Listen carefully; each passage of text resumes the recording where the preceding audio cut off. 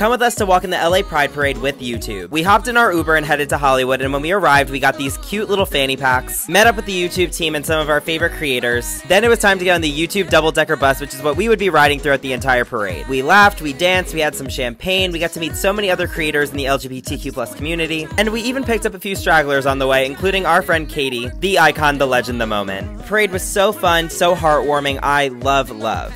It's over. Can't wait to do it again next year.